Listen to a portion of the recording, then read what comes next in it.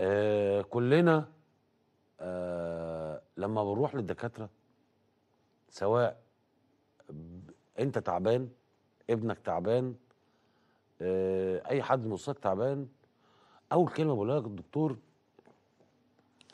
لو سمحت بلاش الوجبات الجاهزة بلاش ال fast food من فضلك بلاش وجبات جاهزة. طيب مفيش دكتور في مصر ما بيقولش الجملة دي. طيب مفيش عيان وطبعا أكيد كلنا رحنا عيادات يعني آه مفيش عيان راح العيادة عند دكتور أو مستشفى وما سمعش الكلام ده. غالبية العظمى مننا سمعت الكلام ده. آه خليك معايا أنا الأول يا أستاذ عبد المنعم أكمل وورينا الكفتة يعني. آه لكن مفيش حد فينا بيسمع كلام الدكاترة. مفيش حد فينا بيبطل يشتغل على ال fast food أو الوجبات الجاهزة. كلنا شغالين بنسمع التحذيرات الدكاترة ريقها نشف إحنا ما بنسمعش. خالص. كلنا بن... بنعتمد على الوجبات الجاهزة وبناكل وجبات جاهزة. طيب هل الدكاترة بينها طار وبين أصحاب محلات الف... ال fast food الوجبات الجاهزة. يعني الدكاترة عايزين ينتقموا من آه، أصحاب الوجبات آه، السريعة؟ لا. حقيقة كلام الدكاترة ده كلام ملوش لازمة؟ لا. طب إيه الحكاية؟ حكاية دراسة علمية حديثة أكدت كلام الدكاترة. بس قال الكلام منيل بستين نيلة. قالت إيه؟ دراسة قالت ان في خمس آه، كوارث بتعملهم وخمس مشاكل بتعملهم الوجبات الجاهزة. أول حاجة إن هي بتعمل زيادة في الوزن. عفوا.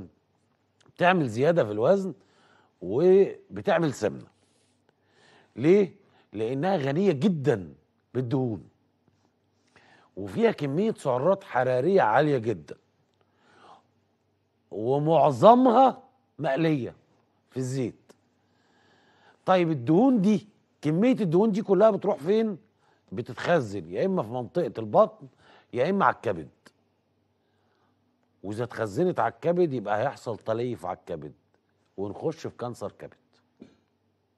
أدي أول بلوة بتعملها إيه؟ طيب قال لك بتعمل حالة من الإدمان.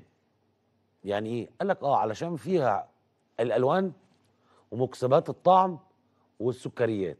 التلاتة دول لما بيتحطوا في الوجبة دي انت ما بتقدرش تستغنى عنها وتبطلها. ماشي؟ لسه آه، آه، يعني دي المشكلة التانية.